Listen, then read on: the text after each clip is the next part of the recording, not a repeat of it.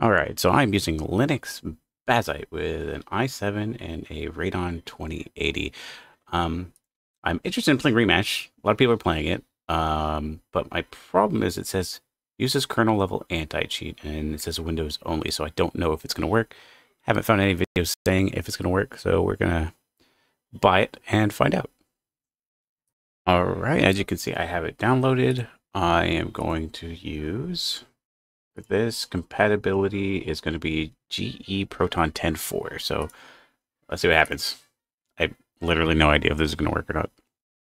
All right, so it looks like it's loading.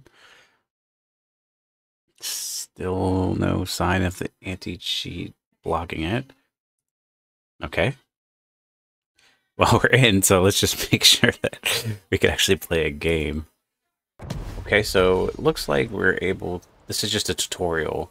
I want to make sure that we can actually get into a match, so let me just get this done with, and then we will see what happens when we get into an actual match. Okay, it's connecting. You've been disconnected. Unknown error. Okay. So that might be the anti-cheat. So let me try deactivating my VPN and see if that works.